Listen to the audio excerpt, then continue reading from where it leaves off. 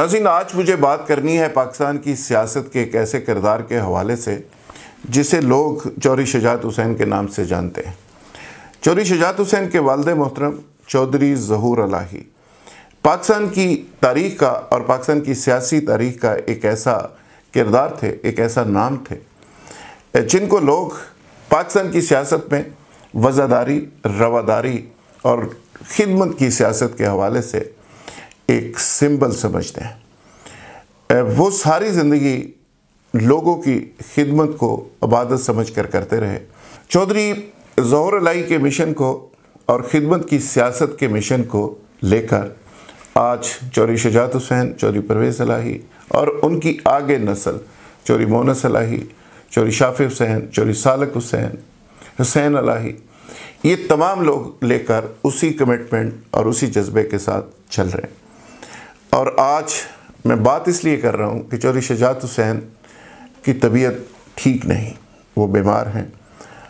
Age factor भी है और कुछ बीमारियाँ भी ऐसी हैं जो साथ साथ उनकी ज़िंदगी के चलती रहीं। लेकिन आज तक चौरी शजात हुसैन ने कभी भी इस तरह की छोटी मोटी बीमारी को अपनी खिदमत की सियासत के आड़े नहीं आने दिया। आज चौरी शजात हुसैन हॉस्पिटलाइज्ड है। मैं इस मौका पर पूरी कौम से ये इल्तजा करता हूँ कि उनके लिए दुआ की जाए। और ख़ासकर मैं अहल सियासत से रिक्वेस्ट करता हूँ कि चौरी शजात हुसैन और उसकी फैमिली इस गए गुज़रे सियासी निज़ाम में रवादारी और वज़ादारी की एक आखिरी, मैं समझता हूँ कि एक उम्मीद है। और उनके लिए आप भी दुआ करें, तमाम सियासतदान भी दुआ करें।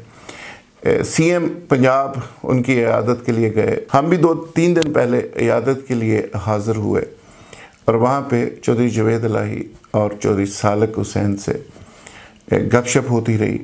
चौधरी शजात हुसैन की बहुत सारी बातें हम लोग डिस्कस करते रहे और आज के जो सियासतदान हैं, उनके साथ मुआजना भी करते रहे। चौधरी शजात हुसैन बतौर प्राइम मिनिस्टर, बतौर इंटीरियर मिनिस्टर, बतौर एक आम सियासतदान, बतौर एक वालद बतौर एक मुहब वतन पाकिस्तानी और बतौर एक बिजनेसमैन उन्होंने एक पाकिस्तान के लिए, इस कौम के लिए इतना कुछ किया है, उस पर कई किताबें लिखी जा सकती हैं।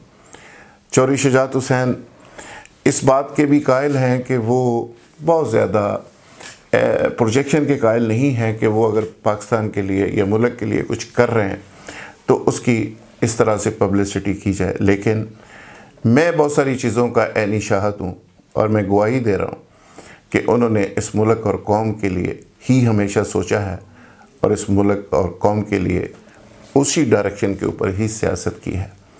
उनकी सियासत का कभी कोई मकसद ऐसा एक लम्हे के लिए भी नहीं रहा कि जिसमें इस तरह का शायबा हो कि वो मुल्क और कौम के इंटरेस्ट से हटकर सोचें या सोचने का तस्वर करें। चोरी शजात हुसैन बिलाशुबा एक तारीख है और आज अगेन मैं ये दुआ कर रहा हूँ और सबको दुआ की इल्तजा कर रहा हूँ कि चोरी शजात हुसैन का इस गए गुज़रे सियासी निज़ाम और सिस्टम में मौजूद रहना एक ताज़ा हवा के झोंके से कम नहीं, एक बहुत बड़ी नेमत से कम नहीं लिहाजा हम सब दुआ करते हैं कि चौधरी शजात हुसैन को अल्लाह मियाँ सेहत के साथ लंबी ज़िंदगी अदा करे, ताकि वो पाकिस्तानी सियासत के इस बाँझपन में एक उम्मीद की किरण इसी तरह बने रहें। बहुत शुक्रिया।